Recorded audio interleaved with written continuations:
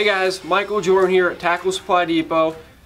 So, the Teckel Sprinker Frog has easily been the hottest hollow-bodied frog on the market this season for many reasons. One, it's got a lot of action, it's completely weedless, good hookup ratio, been a super popular frog.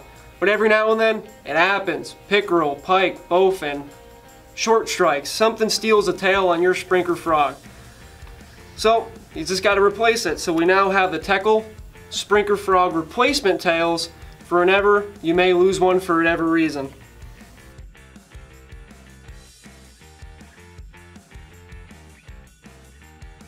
Now we're going to show you a quick clip of just how easy it is to replace the tail on your Sprinker frogs.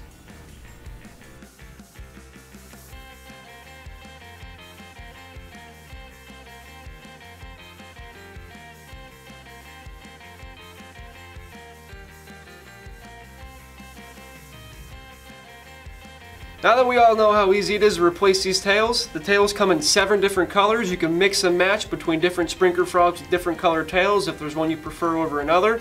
But one thing we also found out about these tails, you could actually put them on other baits to give it an extra kind of action that's very unique that the bass definitely haven't seen yet. The top three ways we really thought about utilizing the Sprinker tail on other baits would be with a swim jig, a spinner bait, and a chatter bait to give them a different look and feel when you're retrieving it through the water. We're going to demonstrate how to set it up on the Picasso swim jig and then from there you could take it and utilize it for the other three baits in our lineup. Size 2 stainless steel split ring, a barrel swivel, plastic trailer hook keepers, your tail, and of course your swim jig, spinner bait, or chatter bait. Alright, so the first step is you have your swim jig and you take the little plastic keeper you slip it right over the hook. Put it about halfway down. Then you're going to take your swivel, put it right on behind it. Take your other keeper, put that on next.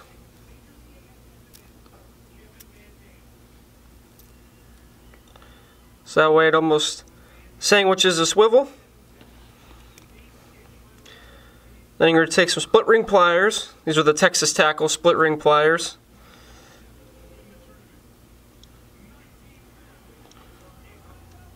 Open them up. So now it should look like that there. Then you're going to reopen the split ring again and add the Sprinker tail. You could also take Teckel's other frog, the honker, and replace the metal feet with the Sprinker tails.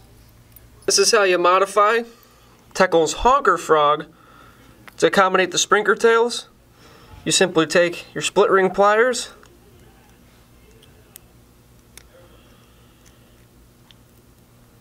open up the split ring feet off reopen the split ring and add your Sprinker tail So now you have your Sprinker tail added. Now you do the same to the other side and now you have a double-tailed Sprinker. This is what the finished product looks like after you swap the tails out for Sprinker tails. Here's a clip from Teckel showing their replacement Sprinker tail on the back of a swim jig.